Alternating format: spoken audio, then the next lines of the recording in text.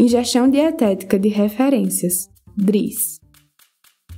RDA, EAR, AI e UL. São tabelas com valores de referência de ingestão dos micronutrientes, as vitaminas e os minerais. São utilizados pelos nutricionistas para formar dietas para pacientes saudáveis, satisfazendo suas necessidades fisiológicas normais e prevenindo deficiências.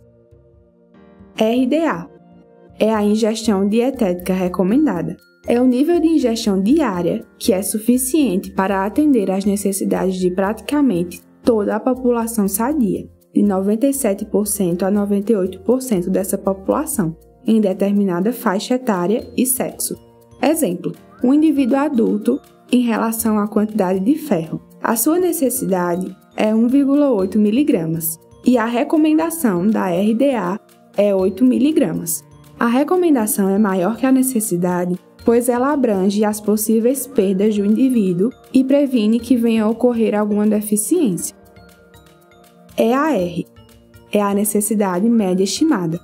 É um valor de ingestão que cobre 50% das necessidades dos indivíduos saudáveis. São a base para estabelecer as tabelas de RDA.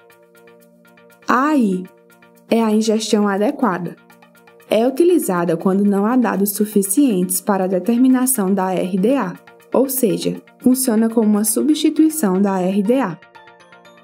O L é o limite superior e tolerável de ingestão.